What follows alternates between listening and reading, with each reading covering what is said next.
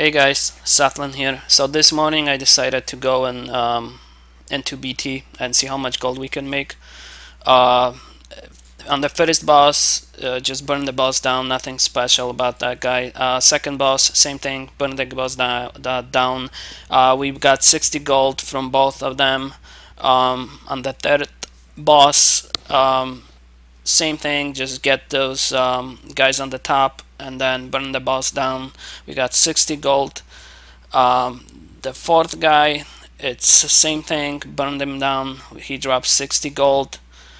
Um, on the fifth guy, this one has uh, mind control in second phase, and for me it's kind of hard, and I failed. I, one of my guys died here, but nothing I can do about it. One of my guys in the back actually pulled aggro, so but whatever. We got the boss down, and we got 60 gold from this dude.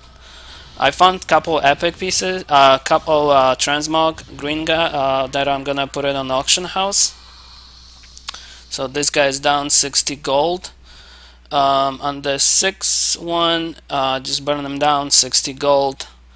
Uh, sorry for the black screen. Um, on this lady, she will mind control kind of do AoE, so you have to spread your guys apart.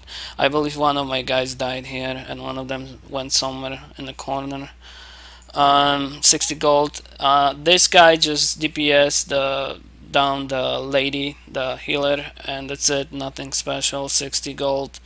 And on the last boss, Illidan, I put my elementals on the right, two guys on the left uh, to spread the uh, flare uh, apart, and so you don't take any uh, damage. If you glue them together, you will die no matter what.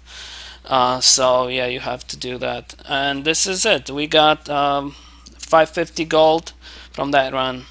That's it. Thanks for watching, guys, and please subscribe. Thanks.